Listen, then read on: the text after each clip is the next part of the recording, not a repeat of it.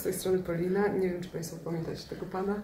Dzień dobry, były mąż Poliny. Jak masz na imię? Mój bohater? Tak. Wiktor. Wiktor. Znowu jest fajnie. Super. Reżyser ma energii w brud. Aktorzy są wyśmienici. Aktorzy są wyśmienici, prawda? No i już niedługo widzimy się z Państwem, prawda? No, No. będzie się działo. Bo tutaj jest przyszły mąż Poliny e, blisko, teraz gra scenę.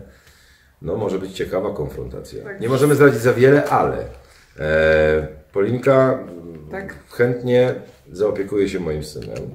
Troszkę. Z tej Ukrainy będzie chciała go wyciągnąć. Przecież Ale teraz mój, bo żyje ze mną. Aha. No. E, twój będzie jak tu przyjedzie.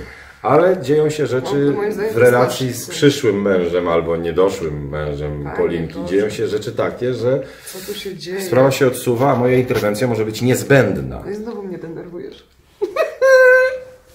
Dlatego się rozstaliśmy właśnie. Wiktor będzie się pętał? Będzie się pętał. To tu, to tam się pojawi, załatwi parę spraw, trochę pomoże jak zwykle, bo to jednak... Jest dobra jednak dusza. Dobra dusza, no. Pijus, ale... Pijus, dobra ale dusza. dobry. Taki, on jest macho, ten nasz Wiktor trochę. Macho? Jest trochę macho. Albo chciałby być w każdym razie. Przyjaciel kobiet. Przyjaciel kobiet, opiekun, obrońca. Opiekun, obrońca, Obrońca. tancerz. Tancerz. Zapraszamy Was, kochani.